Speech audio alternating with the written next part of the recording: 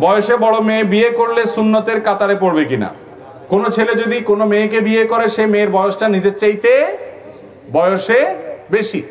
এরকম। অথবা যদি কোনো মেয়ে বিধবা হয়, তাকে বিয়ে করে। তারাক প্রাপ্তা কিন্তু ভালো মানুষ, তার কোনো দোষ নাই। জামাই হয়তো, স্বামী হয়তো, জালেম ছিল।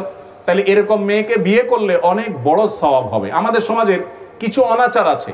একটা বড় অনাচার হলো, কোনো মেয়ে তালাক প্রাপ্তা হলে, বিধবা হলে যুবক বিয়ে করতে চাইলেও যুবকের মা বাপ বিয়ে করাইতে রাজি না। সমাজের মানুষ সেটাকে খারাপ মনে করে। আছে না নাই? অথচ একজন বিধবা নারী, তাকে যদি আপনি বিবাহ করেন, এই জায়গা থেকে যে তার আশ্রয় দরকার আছে, তাহলে সেক্ষেত্রে এই বিবাহের কারণে, এই স্যাক্রিফাইসের কারণে, এই সহায়তামূলক মানসিকতার কারণে আপনার সব আরও অনেক বেশি হবে। নারীবাদী যারা, নিজেদেরকে নারীবাদী বলে দাবি করে, তাদেরকে দেখবেন এরা আসলে নারীবাদী না, এরা হলো শুধু তরুণীদের জন্য, বয়সে কম, সুন্দরী মেয়েদের জন্য তাদের সমস্ত আয়োজন।